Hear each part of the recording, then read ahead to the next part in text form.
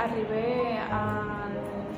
Venezuela a cumplir misión internacionalista el 11 de, julio del 2023, eh, donde fui ubicada en el estado de Portuguesa, específicamente en Guanare, en el SRI de El Progreso, eh, a cumplir con el deber eh, y muy satisfecha con trato de todos los, coordinadores y, y del SDI.